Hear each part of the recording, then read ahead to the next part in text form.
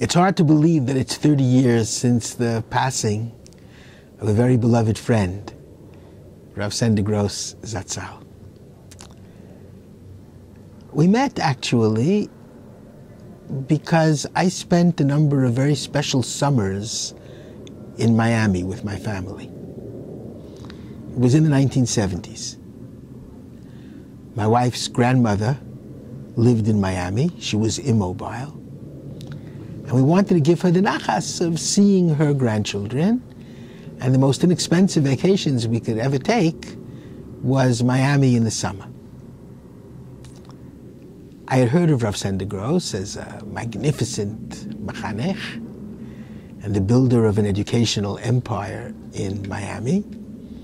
I went to daven in the synagogue in the school, and it was his shul. And he and Libadal ben Chaim Lachaim, his very special Rebbitzin, immediately invited the family for lunch, and a very close friendship ensued.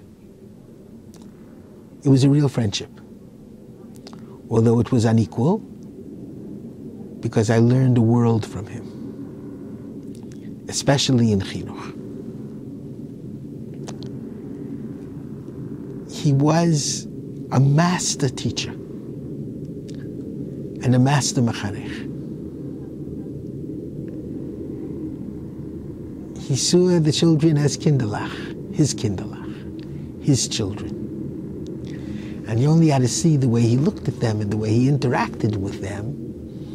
It was a living expression of Vishinantam Levanecha, Eluhem HaTalmidim, Shenikraim Banim B'chol Makom.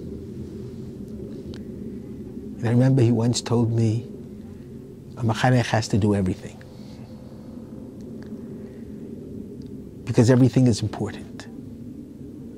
And that includes driving the children to school in the bus if the bus, bus drivers are on strike. Because the task of a mechanech is to make sure that the children get into the yeshiva to learn Torah, whatever it takes. And if it took mortgaging your own home in order to make sure that the yeshiva could exist, he did that too.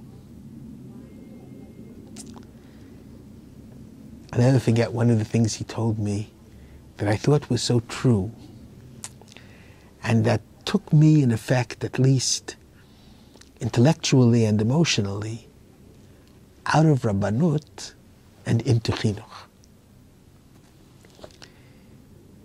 He said to me, You know what the difference is between a Rav and a Mechanech? He says, A Rav is always talking Ruchnias. In every one of his drushes on Shabbos, what does he talk about? The importance of Ruchnias, Ruchnias, Ruchnias.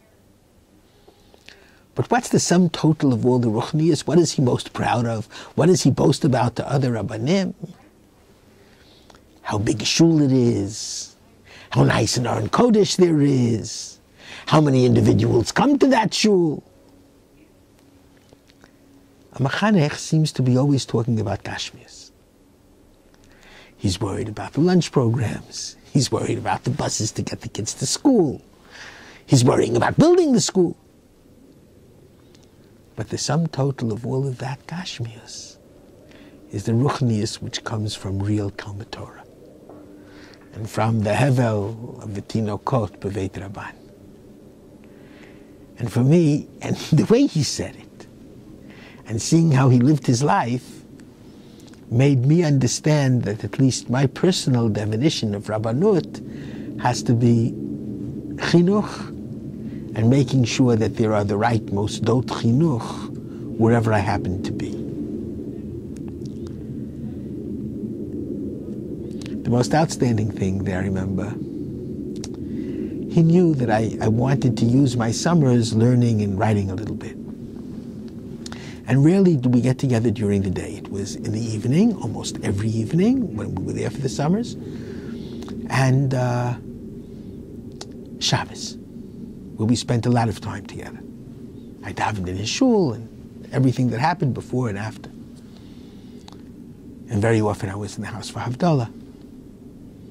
And it wasn't just me, it was me and my whole family. Once he called me during the day, and he was apologetic. He said, I, I really don't want to bother you. I know you spend the time learning, but I, I really need you to ask you a shaila. And I thought to myself, I, I said to him, Rav Sender, you're asking me a shaila. I'm the one who comes to you with all the shailas. He says, no, no, no, I need, I, I need someone else to give me an objective opinion. So of course I said, please, we'll get together right away. This was the shaila. He said he was a very young man. I think it was right after his marriage, and it could be that some of the details I'm, I'm remembering are a little bit fuzzy, but the, the fundamental issue was not fuzzy at all. He said to me that uh, he was ill and he had a very bad asthma attack, and the illness, I think, was asthma.